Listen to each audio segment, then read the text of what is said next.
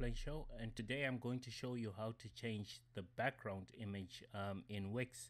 We're going to go through two two stages how to add a color or how to add um, an actual image. So to change our background what you want to do is just double click on the background image that you have then this dialog box will appear that says change background so click on that and you'll have this array of uh, backgrounds to choose from so what you can do if if you like any of these you just click on it and that becomes your background. And um, you click save and it will be saved to to your website.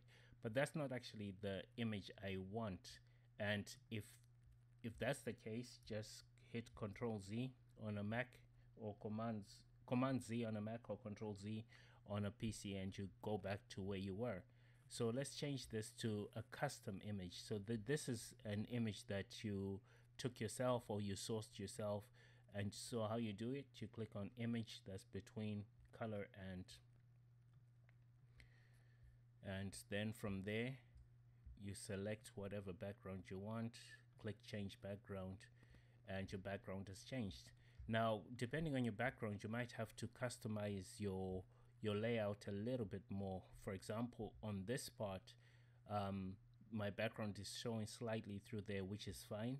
But if you find that the background is um, um, interacting is actually um, messing up your your text in other words you can't see the text properly then you just click on an empty part of this part. And here I put in a basic shape as you can see. So what you do is you go into settings and you can change the no sorry you don't go into settings. You click on this brush icon and then there we have opacity. You can change the opacity of that shape you would have added. If you want me to do another video on how to add a shape behind your text so that it um, shows better please let me know and I will do that.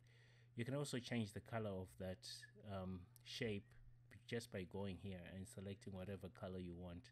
If you don't find the color you want in this grid right here what you do is you go add color and the color dialog box box will appear sorry. Oopsie. I want to drag it. So for example if I choose a blue or a lighter blue you can even dial the yellows in and choose whatever color you want to select from there but right now I don't want to do that. I simply want to change the opacity of it. So right now it's um I think with this one I can play around with it quite a bit. Right into the 70s that looks good. But you might want it to to be really a dark in the background. So you dial up the opacity to do that. But I would like a bit of the background to show so I'll dial it to 70 I think that that will do great. 69 71 that's fine.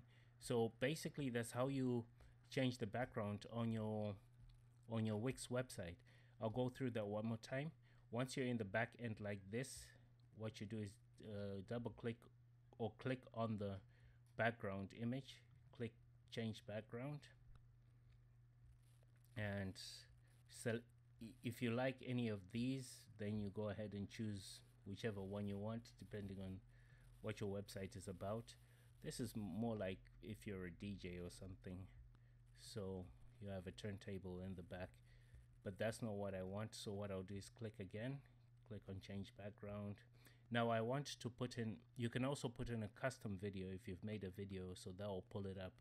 Um, I wouldn't recommend that because that slows down your site so I'll go with an image over here I'll just revert back to the image I had before. So I'm gonna look for my image and there it is. Double click on that and there we go. Changed our background. Um, Wix save saves it auto automatically.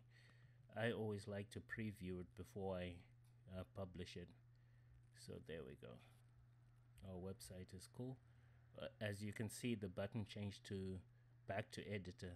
That's what I want to do. I want to go back to the editor and there we are.